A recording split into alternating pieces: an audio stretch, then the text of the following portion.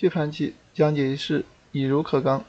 二零二四年王天一最新对局，对手是甘福生，双方是国公炮，对战近七组，招法是针锋相对。红方跳马之后准备出车，黑方跳马之后出来准备了封局。红方群合，黑方常见招法标对啊，定位一下。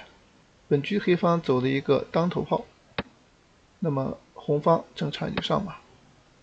黑方跳马之后准备出车，红方则是出车，准备对他加以封锁。那对方一出啊，锁住。现在到黑方走棋啊，红方下一步是要挺兵啊，胁迫他的马，所以黑方可以走拆炮啊，将来你挺兵他也不怕。这边随时呢可以把石象补起来，找机会呢进卒腰对即可。这组棋啊可以说是以柔克刚啊，这一拆炮就限制你上马了。实这样的话，他主三进一啊，这步棋走的有点强硬，但是红方也不怕，平炮给他摁住。到这儿的话，他是要吃车啊，你敢吃，他不相破了。将来这个棋对完车以后调过来，底线比较危险。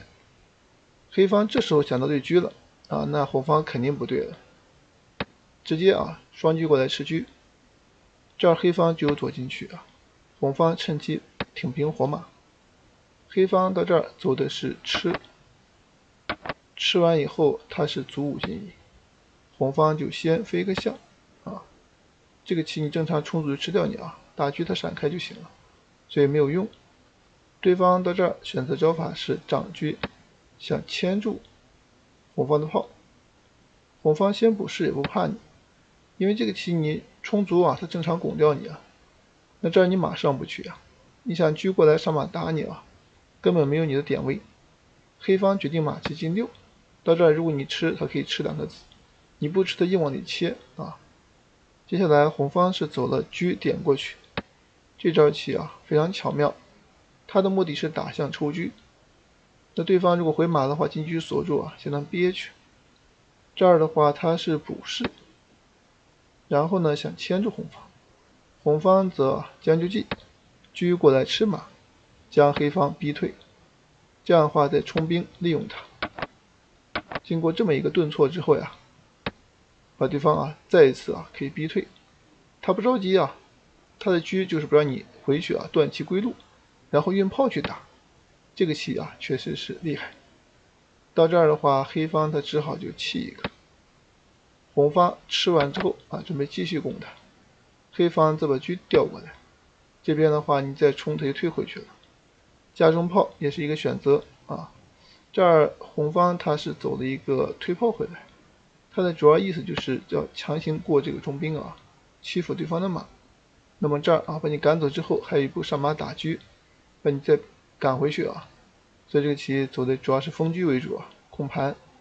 黑方则是先对车啊，这儿是兵贵神速，他不给你这个机会。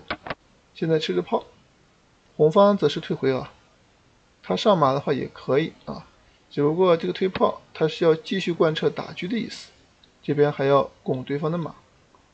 那么黑方他选择招法是踩车，那红方顺势把象给吃了，再踩，红方呢退到兵线的位置，实现了一个条形。黑方点下来就是避免将来打车的可能性。然后呢，红方是调车过来，这个棋试探应手。啊，你要上正位，就把象给打了，分边太厉害了，对方不得已跳了边马，相当委屈。红方马三进四啊，这样的话往里就切，黑方则是马六进七，想要踩兵，红方顺势冲过去，想扑巢扑不了，这边有车，黑方炮九平六，准备强行扑巢，红方马四进三啊，过河拆桥，黑方仍然过不来。他选择交法是退车抓马，希望啊做一个交换。红方平炮刚好就看住，下一步棋准备平兵抓马了。那黑方临场没赶上，为什么呢？上来之后踩炮，这边象掉，中间一吃啊，再回去的话一拱也是憋屈啊，现在这个象还得丢。如果推这边的话，红方仍然是拱双。到这你非吃不可呀，不能丢子啊！杀象之后，底线是一个闷弓，出还出不去，只能把车填过来。这样的话，这个棋啊，他退车一吃，就可以呢把他赶走。这边呢，简单是得子。那么还有一个思路啊，就是不着急吃，先把马吃掉啊。对方如果敢上马，上去就是一个对子。你一吃点将之后呀，把你的吃回，这样的话应该说啊，直接就拿下了。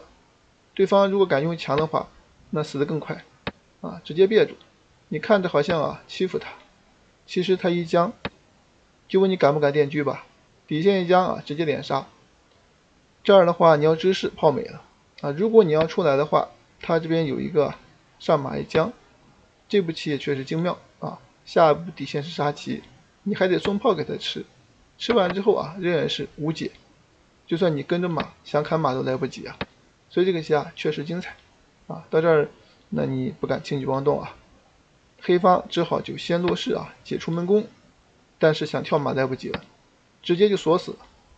那现在他只能看住啊，红方也是简单给他吃了，把对方炮啊先引过来吧，然后呢顺势把他的炮抬掉，对方象掉，这里的话进车锁马。准备再吃一个，黑方一看不行啊，落象，红方顺势摆起了中炮，准备抽将啊，黑方他就上将，红方则是点一将，试探应手，看你怎么走。那么这样的话，如果下去啊，这边有一个平炮的好棋，打着闷弓呀，对方上马踩车啊，这个时候红方不能急于跳马，否则车没了。他先吃炮晃对方一下，然后再上马，这边啊继续打象。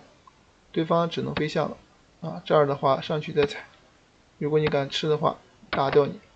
吃完之后车没了啊！下一步棋绞杀，所以这个棋啊受不了。那么上来的话，其实跟退车是一个道理啊。实战他退车了，他还是退回啊，就吃你个炮。你刚才如果说啊上去啊，还是一个道理。你中间将啊，你也是出不到右边，只能出左边啊，跟这个棋是一样的。然后的话，你推炮。将军啊，电炮冲车，电炮啊吃掉之后还是出车啊，跑不了的，所以他只能出来。然后这边的话就吃啊，你炮一走抽你车，对方的话就硬扛。王天一啊强行突破啊，这招棋呢就是欺负他。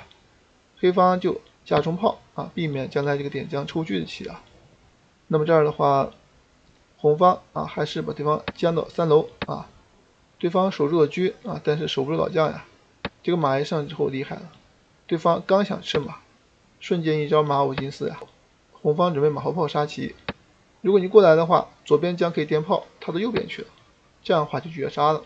所以这个棋啊，你根本来不及吃马，但你不吃还不行。啊，这个棋进退两难，最终的话对方认输，这盘棋啊，王天一获胜。